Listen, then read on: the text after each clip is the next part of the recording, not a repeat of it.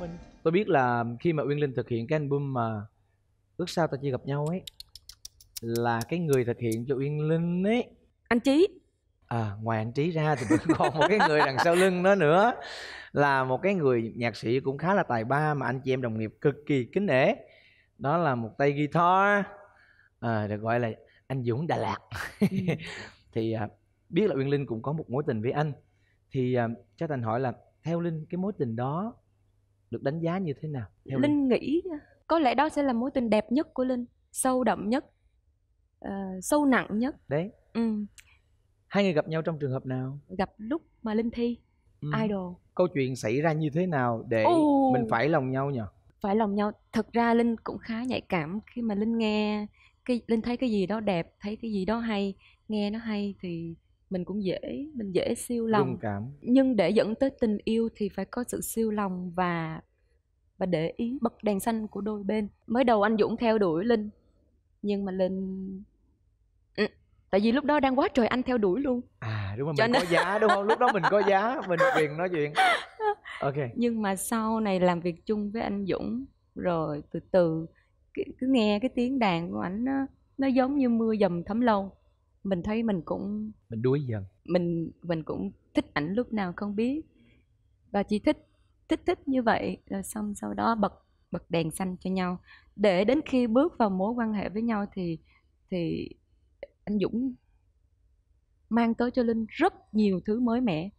Về tư duy cách suy nghĩ. Ừm, về giao tiếp về tiếp xúc ngôn ngữ về nhiều cái Ừ. về về sự vui vẻ sự hài hước rồi xung quanh nhiều thứ lắm. Ngoài tiếng đàn ra cái điều gì của anh Dũng hấp dẫn Uyên Linh nhất? Cái lúc đó Linh 23 tuổi điều Linh thích nhất ở anh Dũng ngoài tiếng đàn ra là anh ấy quá vui tính anh ấy quá vui tính. Linh tức là Linh không biết với những người đàn ông khác thì thế nào nhưng Linh ngồi với anh Dũng thì Linh cười từ sáng cho đến tối. Tôi nói thật nha tại vì anh anh Dũng thì anh cũng có thể là lớn tuổi hơn Linh nhiều. Ừ.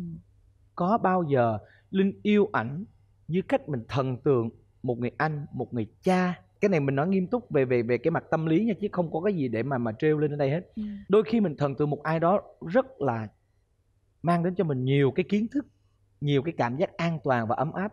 Mình xem họ như một người thân của mình có cả có cái cảm giác hay không? Linh nói ra sợ mọi người sợ mọi người nói Linh kiêu ngạo. Thực sự Linh chưa bao giờ thần tượng một người đàn ông nào hết. Hứ. cho nên cái tình cảm như Trấn Thành vừa nói là mình kiểu yêu chàng như kiểu là chàng là là một cái đấng gì cái đó tùng cái bách đi. thì không có chuyện đó xảy ra. Nhưng mà với những người phụ nữ như Linh Ừ. thì những cái quan tâm nhỏ và những cái để ý nhỏ sẽ làm Linh nhớ mãi mãi không bao giờ Linh quên. Linh với anh ấy quen nhau được bao lâu? On off on off. Ờ, ờ. lúc có lúc không. Ờ. sao giống như kiểu đèn mà bị lỏng chuột á.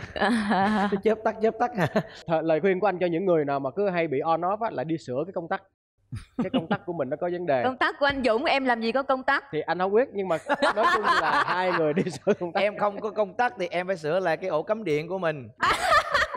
Quỷ. Chứ bây giờ đúng không? Mình phải coi lại coi nó có cái gì vấn đề ở trong đó hay không. Nè anh trí anh có chứng kiến qua cái mối tình này không anh trí? Anh là người trong nghề mà. Ôi trời đất ơi. Anh là cái người thực hiện album cho người ta mà anh có thấy có cái gì đặc biệt trong cái mối tình này không anh? Cô, cô linh cô đưa tay cô thấy anh hãy dừng lại. Anh đừng có bán em.